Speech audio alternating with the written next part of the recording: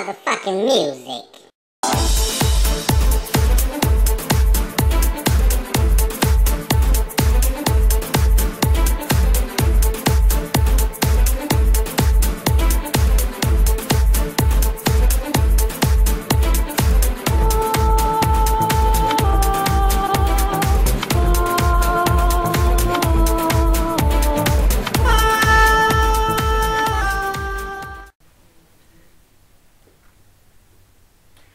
Hello there, pumpers. How are you all doing on this great sunny, well, wherever you are, sunny day? If it's gloomy, how are you on this gloomy day? If it's shitty, how are you on this shitty day? Well, whatever. How are you all? Thank you so much for tuning in to yet another episode of Up in Pumps with me, Robert DeMarco. Um, usually it's cooking Up in Pumps with Robert DeMarco, but I'm not cooking today. I'm coming back by popular demand to give you more of some story time. Yay! Um, so I'm not cooking shit today. Um, I am coming to you all to tell you, based on the title of this story, that one time when I died. Yes, yes, yes. This is probably um, the first time I really ever really talked about the details of my accident publicly, if you will. Um, certain people know some of it but I'll just tell you as much as I know, which based on what was told to me and what I can remember. Um, but it's about that time when I died, and it is regarding um, a car, very, very serious car accident that I had in seven, or I'm sorry, in July of 2014, July 15, 2014, 7, 15, 14. Okay. So anyway, but before we get into that, I usually introduce my supporting cast, which is usually my pump, because this show is called Up in Pumps. And I am surrounded by all my girls, or some of my girls, not all my girls, but some of my girls. I got on an old friend. Um, this was a very, to me, a very solemn shoe. So I think that this is because this is a solemn story and a serious story. Um, I'm gonna wear solemn, you know, nice nice shoe, or what the fuck ever. So anyway, let's get to it. So, if you are a first time pumper or viewer or watcher or whatever, um, thank you so much for tuning in to my show. Um, I am a very real person. This is what I do. I usually cook, but I'm not cooking shit today. But sit back and relax and enjoy.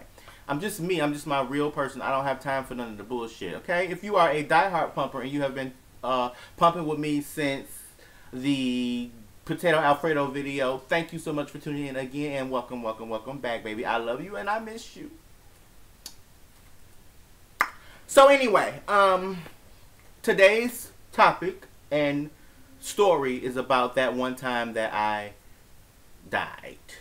Um, yeah, and when I say died, it was more ways than one, literally, literally and figuratively, um, mentally, emotionally, all that kind of stuff. So, um, back on July 14th, I'm sorry, July 15th of 2014, I um, suffered a very, very serious accident on my way to work. I brought some snacks, some chili Fritos. Gotta have snacks for story time. Motherfucking strawberry sour patches. If y'all have never had these, get you some of these. They in the shape of little strawberries or whatever. They real good. Let me get these open because I don't want to be rattling with no packages or whatever. And some Boston motherfucking baked beans, bitch. Not from Boston, but these bitches is good. Anyway, so.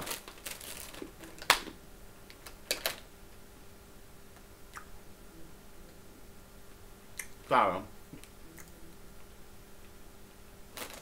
At the time of this, during uh, around around that time, July of 2014, I was going through a very, very, very, very transitional time of my life.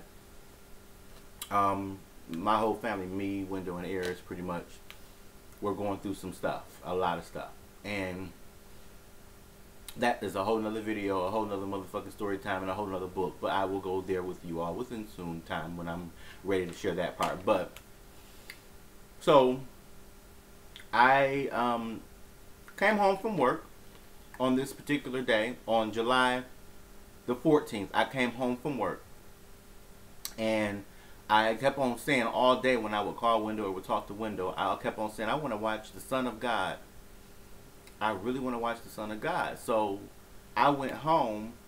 Um, it was a movie, The Son of God, if you guys haven't heard of it. But I went home and did all I needed to do, and then got into bed and put on the movie The Son of God. I do not know what the why I wanted to see this movie so much.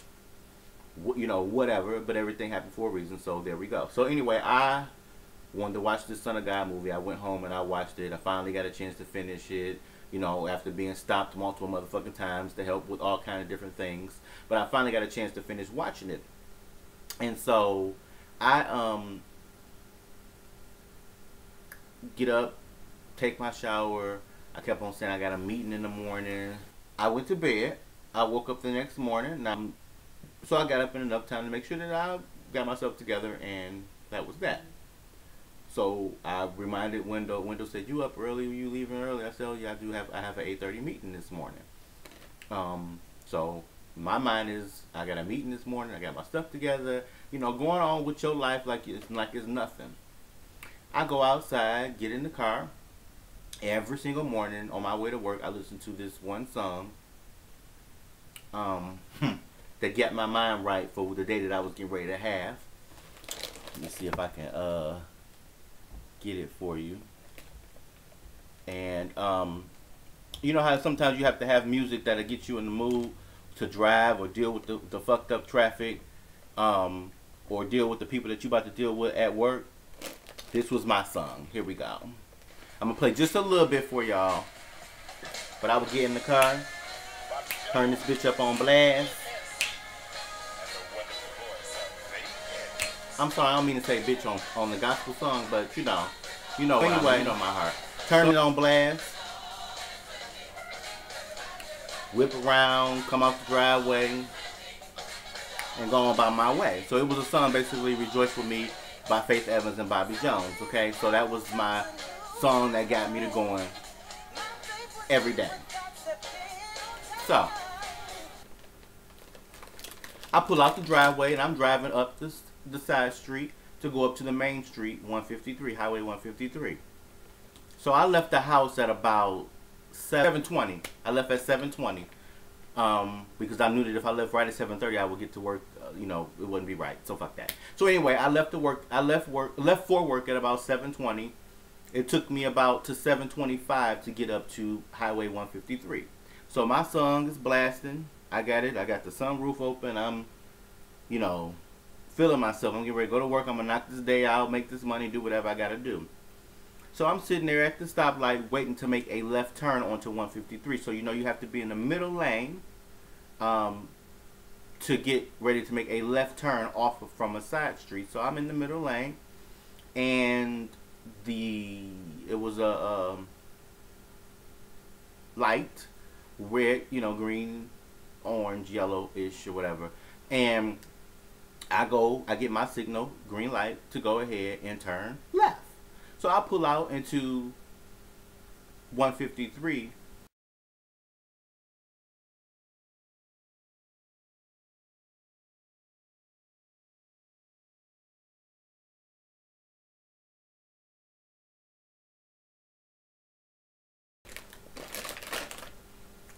What I do remember is being in the car and reaching over trying to take my seatbelt off. And I remember saying, I'm about to whoop this bitch ass. I'm about to whoop this bitch ass. And I don't know what it was, but I was trying to take my seatbelt off because I was getting ready to go whoop somebody's ass. So, that's all I remember from that moment. Okay? Fast forward again. Windows waking me up in the hospital. Robert. Robert. I need your bank. What's your what's your um your card code? What's the code on your card? I need to get some money out for gas. And I'm like, what? My card? You don't need my damn card number. What is you doing? And I'm ta I'm talking in my sleep. You know, you don't need my card. He's like, yes, I do, Robert. What is your code? I need to get some money out the bank. What is your card? And so I wake up and said, I said the code or whatever. So he did what he had to do, and then he came back. And I remember him, me being kind of awake or whatever, and he said, Robert, you are in the hospital. You had an accident two days ago.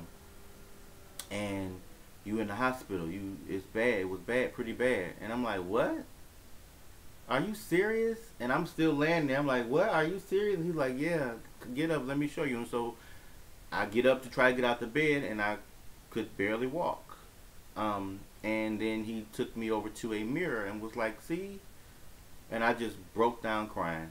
I just broke down. I just didn't know what how to, I, the feeling that I felt at that time. I just broke down crying. So I had been told at that time that I had been in the hospital.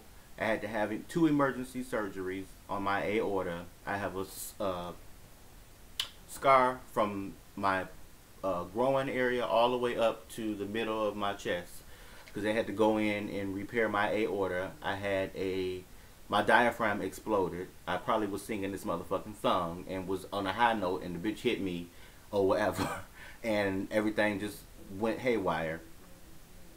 So my diaphragm exploded. My pelvis was broken in three different areas, um, and I had a close a brain bleed. So the brain bleed was uh, it repaired itself. Um, I lost vision in my right eye. Um, and so the brain that was due to the, the head injury because if somebody hits you on the driver's side, everything just bounces over, and that was you know I had a brain injury, so closed head brain injury, brain bleed. Um, they said I suffered a stroke, two strokes, um, at the time, of course, because of the brain bleed and, and the vessels in your in your head. Um, I had about I want to say a month or two of physical therapy so that my walking could, you know, I can be prepared to be a better walker. With a pelvic, if it's broken, you can't move, you can't rock forward, you can't do nothing. So, you know, you have to have physical therapy for that shit. So those are the details of the actual accident. But when I say I died, okay, being on life support for two days, um, I think that you pretty much are being supported by life. So there's a point in there where you could have died, or you could have lost a little bit of whatever. Um, but I also meant that um, I, when I came to, and and got my mind and my wits back, I was a different person. Um, and I say that I was more alert spiritually. I would pick up on stuff. I started reading uh, all kind of i mean I, I had become a different person and i noticed things about the universe and you know it was like really scary to me um, to the point where i started um, foreseeing stuff and i mean i really thought that i was either in heaven or something because the feeling that you get when those things happen is like wow so i'm still mentally was fucked up at this point so I didn't know whether to believe what I was hearing and feeling and seeing or to think that I was probably permanently fucked up, but I wasn't. So um, when I say that I died, that time I died, yeah, I believe I did in all kinds of ways, and some of it for the good, um, because it woke me the fuck up. Um, we have lives that are entirely too short nowadays um, certain areas in, in our country, you can't even walk down the street without being afraid of robbery or um, murder or rape or whatever. Kids being abducted, women disappearing and shit. It's just life is too short.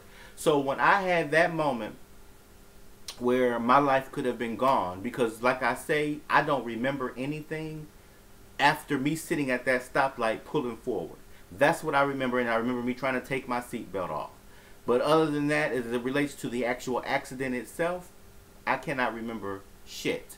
I can't tell you what they what they was driving. I can't tell you none of that because everything just at that point had and I hate to say this, but had I died, there I wouldn't have remembered, and not that I would need to remember, but it, life would have stopped at that stoplight.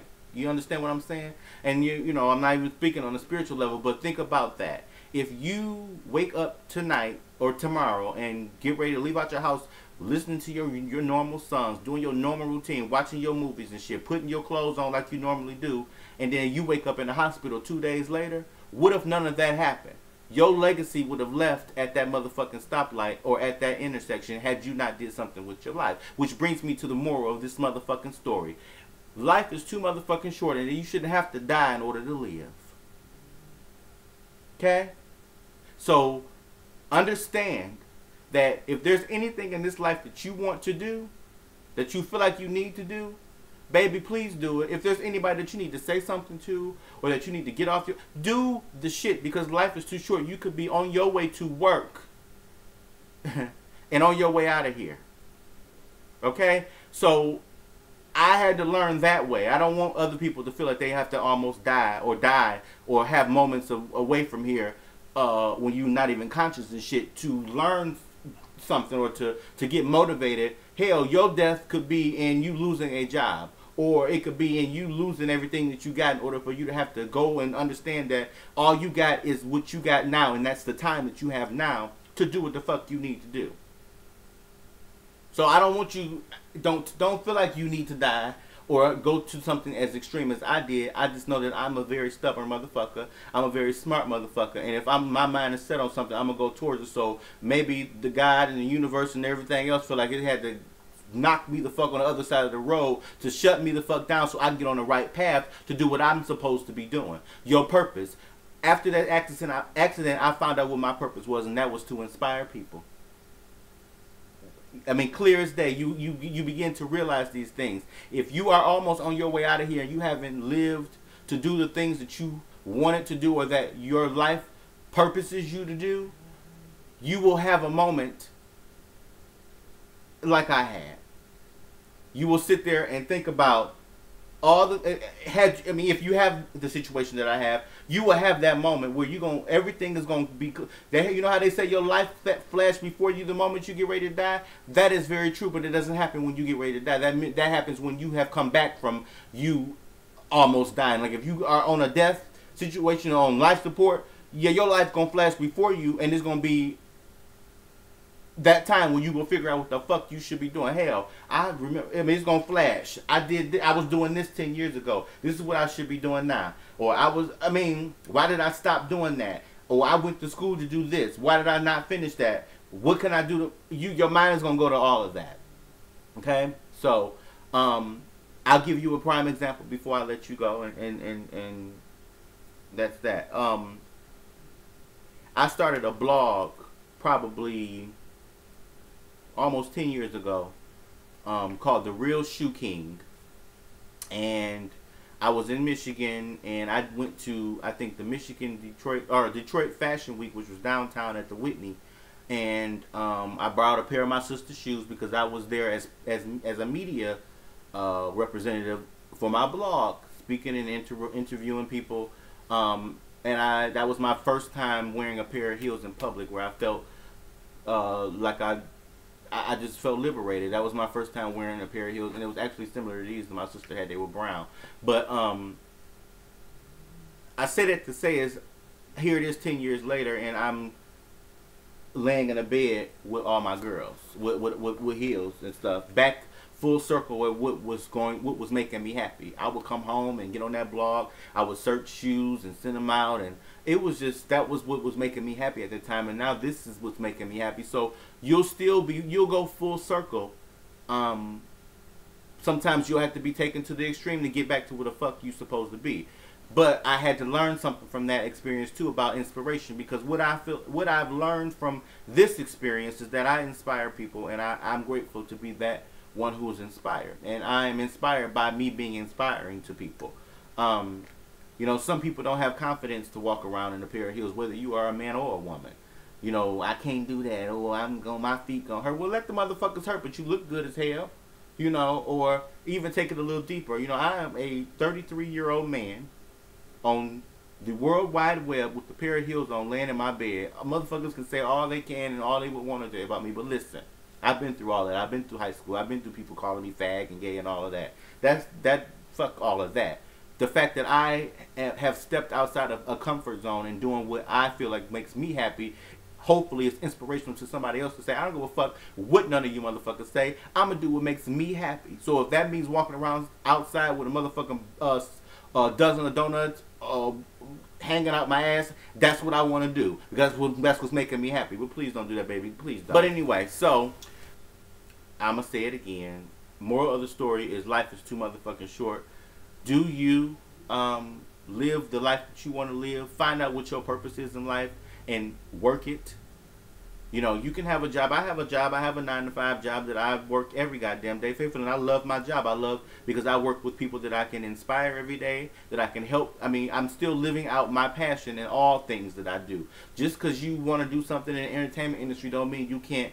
You got to be broke. You can find other things that will help you feed your purpose, so that when it all culminates, you are a mogul. That's how these moguls get built. Hello. So, I don't mean to be preaching or whatever, but what I'm trying to say is live your motherfucking life because I would hate for you to live what I had to live with being on uh, goddamn prescription drugs and had to wean myself off of that. My body was going all crazy. I they gave me, of course, a full prescription, but that I took that. I was I was sent home from the hospital um, after I think eight days in the hospital and then I immediately I was off work for two months. I, st- I started physical therapy. I took that medication, oxys and shit, for a week, and I didn't like how it was making me feel. People shit was floating, and I was just feeling too motherfucking good. And I said, "Oh, this is the shit that people be buying out in the motherfucking streets. Not doing that." So I took myself off of that shit after seven days and I weaned myself off of it because even after seven days, your body would go through all kinds of shit. And I, I, whatever pain I had to deal with, I dealt with it and went to physical therapy, ran on treadmills and shit like that. Because I'm not, I, you know, I was one thing for me to be almost gone from this motherfucking world. I'm not gonna come back and be a motherfucking dope a fiend, a crackhead, pillhead, or whatever the fuck. Can't do that. Now, if that's your thing to do, by all means, love you, baby. But I can't do that. So, um, yeah, that was that. So, um, live your life, baby. Do what you gotta do. Don't sit there and let nobody else tell you that. Oh, you shouldn't do that. No, baby. Whatever you want to do, do it. And do it up in pumps. All right, you all. Thank you so much for listening to my story time. Um, the time I almost died. Please like, share, and subscribe to this video. Hopefully, it'll be inspiring to someone. Please um, share. Uh, let people know that it's a crazy motherfucker on the internet who be sitting up up in pumps, laying in his bed with heels on, cooking with motherfucking heels on, doing all kind of crazy shit. Just a crazy motherfucker. Let them know that he's on the internet and he has videos and shit, or however you wish to say it. Um, I love you to pieces. Thank you so much for supporting me. Um, you know, without you all, I wouldn't have any inspiration to do these videos. Um, so yeah, I love you, and um, yeah. Bye bye. Not bye bye, but